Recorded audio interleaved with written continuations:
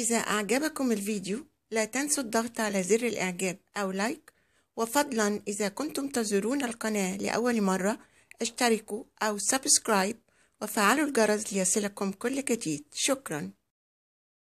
أهلا بيكم هنعمل النهاردة من قسم التجميل الطبيعي.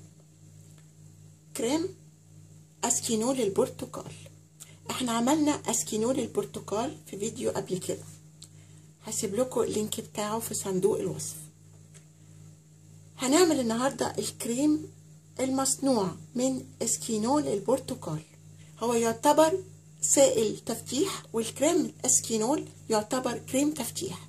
هنجيب الاسكينول اللي عملناه قبل كده في القناة من قشر البرتقال وماء الورد. هجيب الاسكينول. هاخد منه أربع معالق كبار.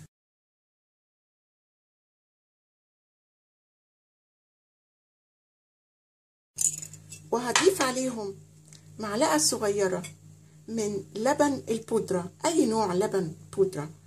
ومعاهم معلقة صغيرة تانية من نشا الذرة أو الكورن فلاور.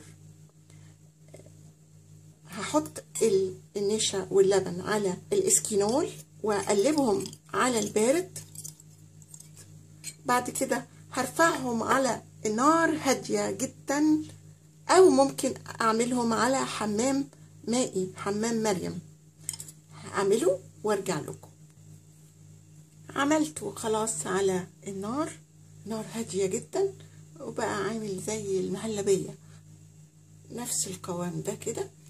هستنى لما يبرد وبعد كده هحطه في عبوة إزاز صغيرة زي دي علشان أستعمله بدل اسكينول السائل أستعمل الكريم.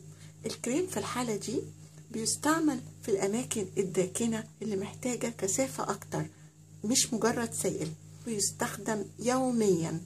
هعبيه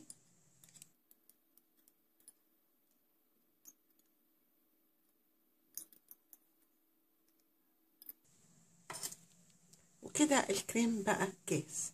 صلاحيته برضو أسبوعين. بيتحط في مكان بارد بعيد عن الضوء. استخدم الكريم زي ما هو كده أحطه على بشرتي. الوجه الرقبة الكوعين الركبتين تحت الإبطين في أي مكان في الجسم مناطق حساسة. كثافة الكريم السكينول البرتقال بتكون عالية فبيقعد مدة أطول بيتشربوا الجسم بسهولة. وطبعا باستمرار بحطه على نظافة. يعني بنظف المكان اللي أنا هحط عليه الكريم الاسكينول ده الإضافة الأخيرة اللي ممكن أحطها هي نقط من زيت الليمون يعني ثلاث أربع نقط من زيت الليمون أو إن أنا أستخدمه لوحده كده. أتمنى إن الوصفة تعجبكم. كريم اسكينول البرتقال صلاحية الكريم أسبوعين من تاريخ عمله. جربوا وقولوا لي إيه رأيكم. هو معروف إن نتائجه بتكون ممتازة اسكينول البرتقال أو كريم اسكينول البرتقال جربوا وقولوا لي رأيكم في ال comments. ما تنسوش ال like. لو أول مرة بتشوفوا القناة اشتركوا أو سبسكرايب وفعلوا الجرس للكل. شكرا للمتابعة. مع السلامة.